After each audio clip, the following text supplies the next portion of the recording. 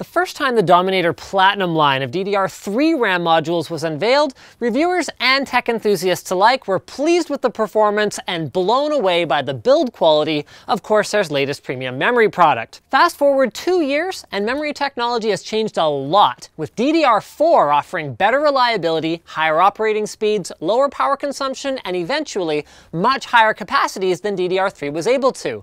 But Dominator Platinums, even in their DDR4 flavor, haven't really changed at all.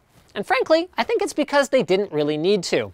They work now on any platform designed for unbuffered DDR4 desktop memory, and thanks to Corsair's compatibility testing across a wide range of X99 motherboards and their implementation of XMP 2.0 automatic memory overclocking profiles, they're also easy to use. On the surface of the memory, you see the black side heat spreaders and top fins that make up Corsair's patented DHX cooling system, and a silver anodized aluminum bar that also happens to be compatible with Corsair's light bar kits for a custom look that'll go perfectly with your color-coordinated rig.